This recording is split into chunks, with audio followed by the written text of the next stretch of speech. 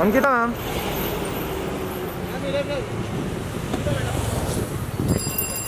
Ankita ma'am कैसे हो? Madam एक फ़ोटो। अंकिता जी रुकिए ना। Thank you thank you madam thank you madam.